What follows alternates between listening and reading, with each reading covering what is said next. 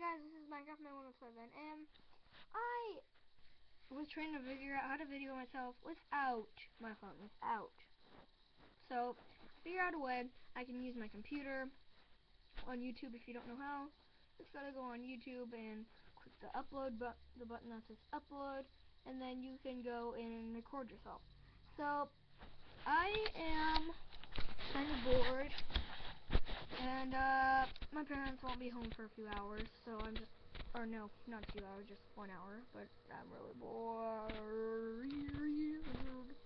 But I am having a car wash. I'm going to be doing it and like a video myself when I'm doing that.